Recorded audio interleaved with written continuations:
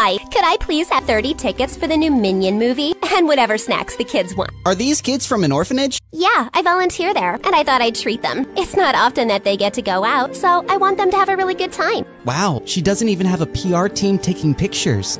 Charlie led the excited kids into the theater, and as he was leaving, Madison touched his arm.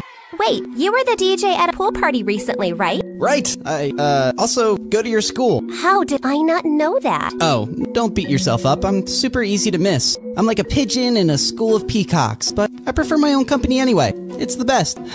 I'm sure it is. Well, thanks for your help today. Madison kissed him on the cheek, and Charlie smiled awkwardly before running off. Was the most popular girl in school just flirting with me?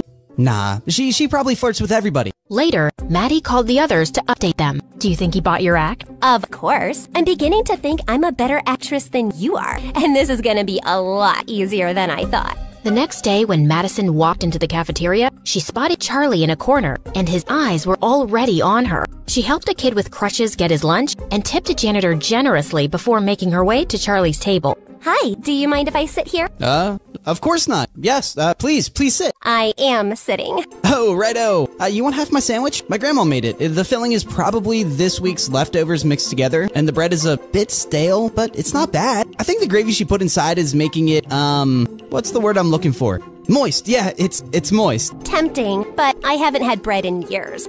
Just then, Charlie noticed that half the cafeteria was staring at them. They're thinking what I'm thinking. What is a beautiful, rich model doing with me? This is clearly a prank. You know, I just remembered. The librarian asked me to feed her fish, and they'll die if I don't do it right now. Really? Well, I can come with you. No, I- I'd rather you didn't, okay? They like their privacy. The fish. They're private people. She stared at him, and he felt more flustered as he reached for his bag and ended up stepping hard on her toe. He turned to apologize and knocked his sandwich on her clothes. I am so sorry. So sorry. Gotta run. And later in the bathroom, as Maddie cleaned up, Brianna and Amber howled.